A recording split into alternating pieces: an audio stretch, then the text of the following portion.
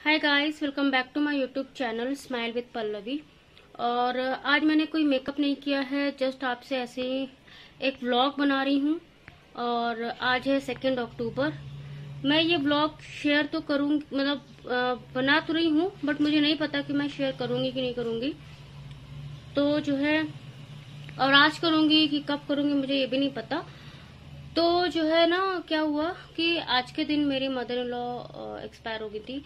और मेरे हस्बैंड बहुत छोटे थे, छह साल के थे। तो आप सोच सकते हो, छह साल का जो बच्चा होता है, वो कितना छोटा होता है, बहुत ज़्यादा छोटा होता है। और जो है, छह साल में ही मतलब ऐसा हो गया था। तो मेरे हस्बैंड बहुत ज़्यादा सैड है। तो उनको देख के मुझे बहुत ज़्यादा बुरा लग रहा है। ऑब्वियसली घर में कोई भी इंसान सैड होता है तो बुरा लगता ही लगता है। तो मुझे बहुत ज़्यादा ही बुरा लग रहा है कि वो इतने सैड है। और उनको देख के मैं भी बहुत ज़्यादा सैड हूँ, क्योंकि मुझे नहीं अच्छा लग रहा है बिल्कुल भी कि वो इस तरीके से आज हैं।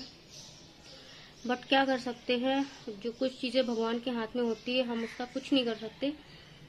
तो बस अभी सुबह हो गई है और मंदिर ज़रूर जाते हैं इस दिन, क्योंकि जो होती है कुछ चीज़ें वो करने के लिए।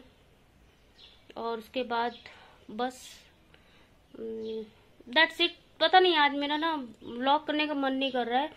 बहुत ही छोटा ब्लॉग होगा ये अगर मैं आपके साथ शेयर करती हूँ तो। जस्ट मैंने शूट किया है कि आपके साथ शेयर करने के लिए बट मुझे खुद भी नहीं पता है कि मैं क्या करने वाली हूँ। तो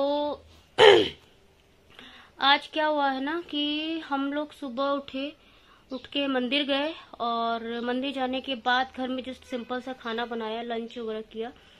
उसके बाद बस ऐसे ही बैठे थे, क्योंकि आपको पता है ना कि एक जो माँ होती है माँ बाप जो होते हैं ना, उनका जो प्लेस होता है ना, उनकी जगह कोई नहीं ले सकता दुनिया में।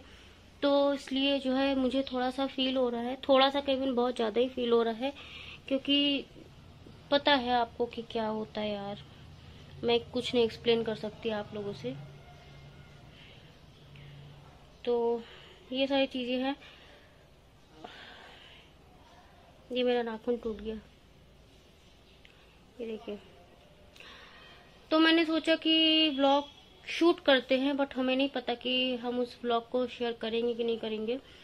तो आज बस मैं ऐसे ही हूँ। कुछ भी नहीं किया है। और मुझे अच्छा नहीं लग रहा है कि मेरे हस्बैंड जो है बहुत ही उदास है, बहुत ज़्यादा सैड है। और आज के दिन मेरे हस्बैंड हर साल बहुत सैड रहते हैं। तो किसी को भी नहीं अच्छा लगेगा कि उसके घर का कोई भी मेंबर बहुत ही सैड हो। देख रहे ये बहुत सारा मच्छर काट लिया लगता है मुझे। और हाँ मेरी तबीयत ठीक हो गई है, मैं बिल्कुल फिट हूँ। और थोड़ा सा मुझे था कोल्ड एंड ऑल तो वो सब ठीक हो गया है। हम्म। बस। और क्या ही शेयर करूँ मैं आज आपसे? कुछ भी शेयर करने की इच्छा नहीं कर रही है। कुछ भी करने की भी इच्छा नहीं कर रही। जब मैं करूँगी तभी तो आपके साथ शेयर करूँगी तो कुछ करने की इच्छा भी नहीं हो रही है। तो चलिए मैं आपको दिखाती हूँ अपने इन लॉस की फ़ोटो की जो है। गाइस ये देखिए, ये है मेरे इन लॉस ये मेरी मदर इन लॉ ये मेरी फादर इन लॉ है। और बस इन मदर इन लॉ की सेकेंड अक्टूबर को बरसी थी। मतलब उस दिन वो एक्सपायर हो गई थी।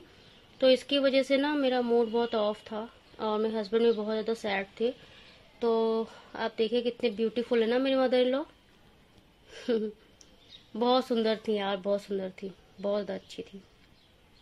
और मैं आपको एक बचपन की फ़ोटो दिखाती हूँ।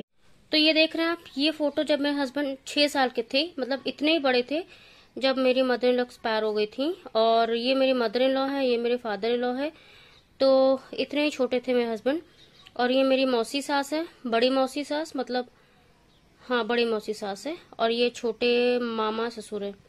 मतलब ये मौसी सास ही मामा ससुर बस इतना समझ लो। तो ये देखिए, इतने छोटे थे मेरे हस्बैंड जब मेरे हस्बैंड के मम्मी पापा एक्सपायर हुए थे। ये देखिए मतलब क्या ही बताओ बट पता है ये मेरी मौसी है ना, बहुत सुंदर लगती हैं, अभी भी बहुत ज़्यादा सुंदर लगती हैं। तो अगर मेरी मदर इन लॉ अभी होती ना तो वो बहुत ज़्यादा सुंदर लगती।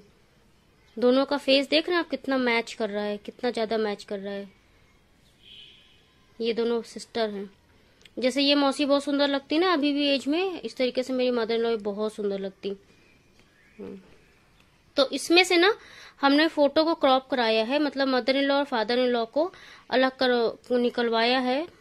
और इसमें जो है फ्रेम में हम लोगों ने जो है इसको बनवाया है इस तरीके से। तो बस यही था जिसकी वजह से आ, हमारा जो सेकेंड अक्टूबर है इस तरीके से हर साल जाता है। हर साल थोड़ा बहुत ज़्यादा सैड होते हैं हम लोग। मेरे हस्बैंड सैड होते हैं तो फिर मुझे भी बहुत ज़्यादा दुख लगता है उनको देख के। अच्छा बिल्कुल भी नहीं लगता है बट अब क्या ही कर सकते हैं है ना?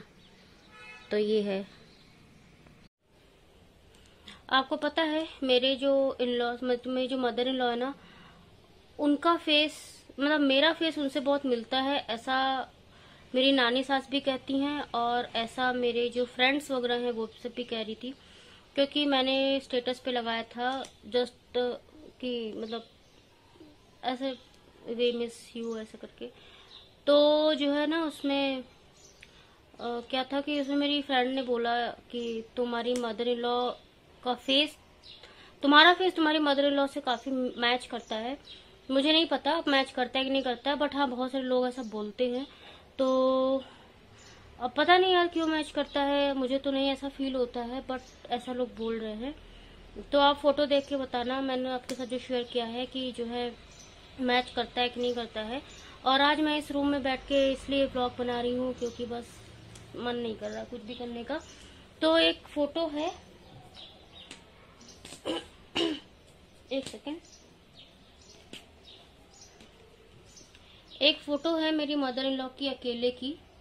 और ये देखिए.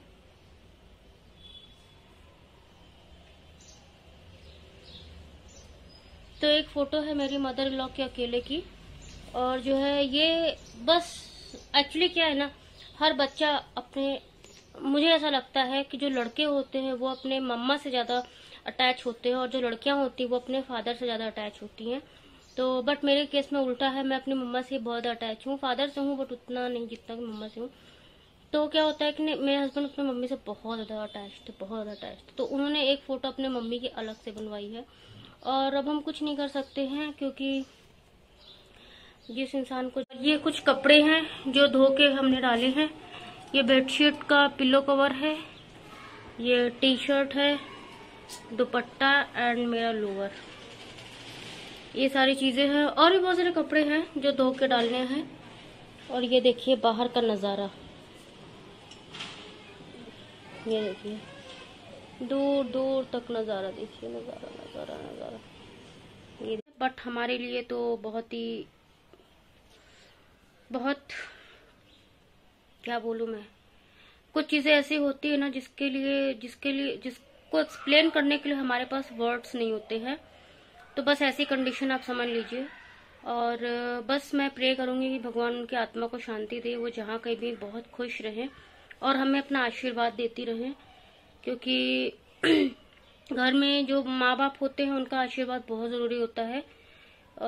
और सब तो ठीक है, रिश्तेदार है, सब कुछ है, लेकिन जो माँ होती है ना, जो पैदा करती है, बड़ा करती है उनका प्लेस कोई भी नहीं ले सकता है। तो ये सारी चीज़ें हैं।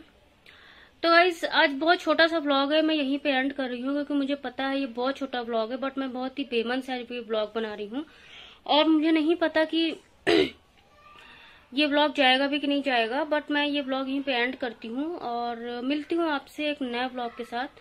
और बस, भगवान उनको जहाँ भी रखें, खुश रखें, अच्छे से रहें, बहुत हम लोगों को अपना आशीर्वाद हमेशा देती रहें, बस यही कहना है बाय गाइस